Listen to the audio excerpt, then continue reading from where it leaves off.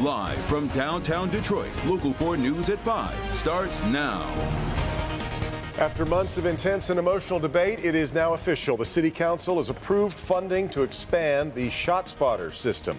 Glad you're with us tonight at 5. The gunshot detection system will now expand to neighborhoods across the city. That's right. So here are some of the broad strokes. Council approved the funding by a vote of 5 to 4.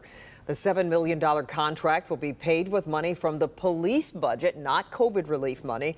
That comes as people say there are privacy concerns with the listening devices. Shawn Ley is live on this story for us tonight. Shawn, uh, the debate over this really dragged on for, for hours today, Shawn truly did. We were there for all of it. Now we're here on Detroit's west side, really to make this point that the bottom line is Shot Spotter is likely coming to your neighborhood if you're in the city. Now expanded to 10 different neighborhoods. You mentioned the vote, razor thin, five to four, and then five hours of debate. The shot spotter sensors pick up the exact location of gunfire. The shot spotter debate, again, is picking up steam. Outside of City Hall, a protest against surveillance is not safety. We have drones in this city. We have surveillance helicopters in this city. We have Project Greenlight in this city. Inside City Hall, Tamara Smith telling council why she is for ShotSpotter. ShotSpotter is very valuable in our city because it saves lives. Smith lives on Detroit's west side. She has six kids. She feels so strongly about adding ShotSpotter to neighborhoods today. She drove downtown to tell council. And safety in my community is what's extremely important to me living in an area where you can wake up and feel safe and know that you won't walk out of the door and a possibility be shot and know that if a shot does go off that you will have offers to show up because they exactly know where it's detected is extremely important to me. City Council changing the ShotSpotter three year contract to not use $7 million in federal funds. Many argue to use that money for other city issues. Now the city would pay for ShotSpotter from the general fund. Finally, a vote 5 to 4, ShotSpotter approved. I hope that the energy continues um, because we have a lot of work to do around gun violence in Detroit. It does not stop with ShotSpotter. So a lot of pressure on city council here, and what they did was what you had mentioned, transfer uh, the payment here to the police budget. They want this, so it's going to come out of their budget. They'll have to make room for that. Same time, it's called American Rescue Act, federal funds that came to Detroit, $7 million left there. People who did not want ShotSpotter now would like to see that money used in other ways, particularly in mental health. Bottom line, it's coming. We just asked police, when is it going to be in those 10 neighborhoods? They say by July 4th. Back to you. Shawn, tell us one more thing. So the chief uh, was asked what he would do if this didn't reduce shootings in the city. What do you have to say about that? It was a direct question. He had a direct answer. He says it's working now in two precincts. The numbers back it up. He says if the numbers don't back it up after this contract, the contract is three years. He says he knows council will not renew the contract. Mm -hmm. We'll be watching it. Okay, Shawn, thanks. Romeo Plank is closed at 26 Mile Road in Ray Township tonight as police investigate a bad crash.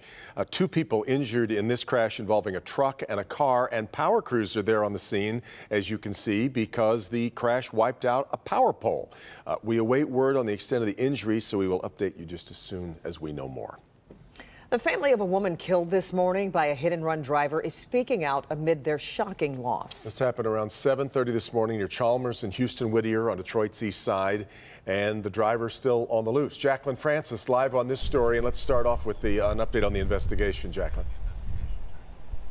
Now, Devin and Kimberly Detroit police are doing their best, but right now there are no new leads in this investigation, and there was very little information to go off of in the first place. Take a look around. This is the intersection where it happened, Rochelle and Chalmers. There's not a lot around here. That business is vacant. No houses on these corners, no doorbell cameras, nothing like that. But what we do know is that that driver is still out there, and the victim's family is devastated.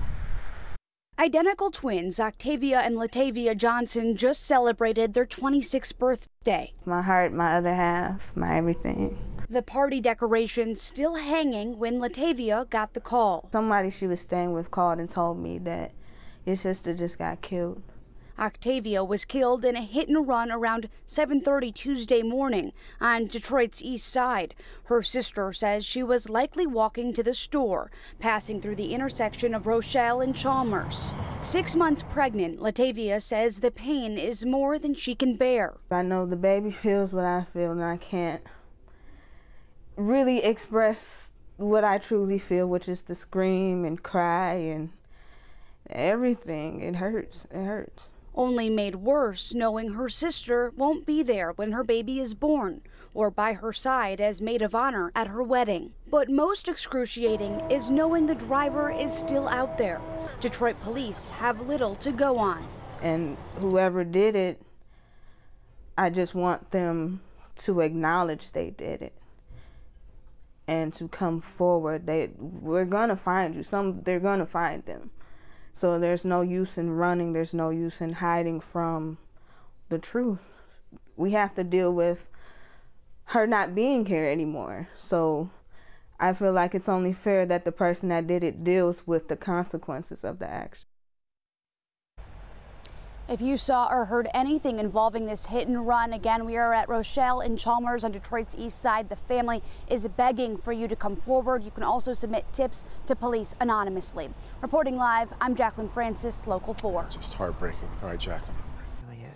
The parents of the suspected Oxford High School shooter appealing to the state Supreme Court today. Jennifer and James Crumbley are trying to get their involuntary manslaughter charges dismissed. They claim prosecutors cannot legally draw a connection between the parents and the charges against them. In filings, the Crumbleys claim prosecutor Karen McDonald is making prejudicial comments about them and dragging the case out. We've reached out to the prosecutor's office for a response to the filings, but we have yet to hear back. Well, let's turn our attention to the weather. A live look at uh, how things look right now in Ann Arbor this afternoon. You can see getting a little cloudy. Changes yeah, coming. Uh, right. In fact, rain coming our way in the next few hours. Let's get over to Kim Adams. We're also losing a little bit of sunshine too as the days go on, Kim. No, we are. We're losing our sunshine and also our warm temperatures after tomorrow. But right now, it's still nice outside. You have at least, I'd say, two or three hours to get outside and enjoy this weather. If you're on the east side, you might even have four or five. As temperatures drop down into the 60s at midnight tonight, we will see rain move in sometime after 8 o'clock. Here's where it is right now. We've seen those clouds continue to increase here in southeast lower Michigan, but the rain is just now headed into southwest lower Michigan out of northern Indiana. It's pouring down rain right now in Chicago, and all of that is headed here to metro Detroit. So at the bus stop tomorrow morning could be some scattered showers. We will get a break from the the rain through much of the day tomorrow and then a few more showers at 3 o'clock. The heaviest rain arrives tomorrow night and also some very high winds. We'll talk about that in the forecast in just a few minutes. Kim, thank you. Actress Angela Lansbury has died. The actress uh, was an award winning person, was best known for her role as Jessica Fletcher on the hit series Murder, She Wrote. She was also nominated for an Oscar when she was just 20 years old. Angela Lansbury, dead at 96. All right, let's turn to the new coronavirus numbers for the week. It's Tuesday. The numbers just released. The state reporting 12,548 new cases over the past seven days. Uh, that averages out to 1,700 cases a day. These, of course, the official ones, those that are reported rather than people just testing at home. Keep that in mind. But 152 new deaths being reported over the same time period. So right now averaging a little over 20 COVID deaths a day in Michigan. Mm. Uh, shots fired on the Lodge Freeway before the morning rush today. Police say the victim sideswiped a car that was blocking traffic from a crash in the northbound lanes near Wyoming. When the victim got out to make sure everyone was okay, the victim and suspect got into a fight. Police say the suspect fired two shots. Nobody was hurt. Part of the freeway, though, was shut down twice this morning for police to investigate. Meanwhile, police are also investigating after a man is shot in his car in Detroit's east side. Police say he was in a Dodge Charger on Orleans near 8 Mile and Dequindre when someone opened fire. The victim was taken to the hospital in critical condition. Police are still investigating. President Biden met virtually with the G7 leaders today after another night of deadly Russian attacks throughout Ukraine. Ukraine's president is renewing his plea for increased military assistance. That, as we learned, more than a dozen U.S. air travel websites were shut down on Monday morning by a group of pro Russian hackers. Alice Barr with the latest from Washington. Alice. Good evening. Ukraine is once again pleading for help stopping Russian attacks from the skies. And President Biden and key allies are promising to supply more air defense systems. A close call and a look of terror as this young Ukrainian narrowly avoided an explosion, demonstrating the fresh fears, with Russian missiles once again raining down on city centers across the country as the civilian death toll mounts. Ukrainian President Volodymyr Zelensky pleading with President Biden and leaders of the G7 nations for more advanced air defense systems, telling the world leaders, quote, this is an enemy not only of Ukraine, it is the enemy of each of you. President Biden pledging his unwavering commitment to hold Russia accountable and support Ukraine for as long as it takes. Russian President Vladimir Putin calling the new round of deadly missile strikes retaliation for the blast that damaged a prized bridge connecting Russia to Crimea. Ukrainians undeterred. We will be standing up against the tyranny, and uh, uh, whatever happens, whatever Putin's attempts are to break us, he will fail.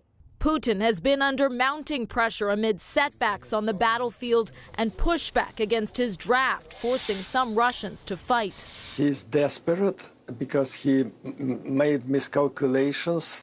Closer to home, more than a dozen U.S. air travel websites were shut down yesterday by a group of pro Russian hackers. There's no indication any airport operations were affected, but the hack renews concerns of Russian cyber warfare. Cybersecurity officials promising the U.S. is ready to respond as the world weighs its response to escalating Russian aggression.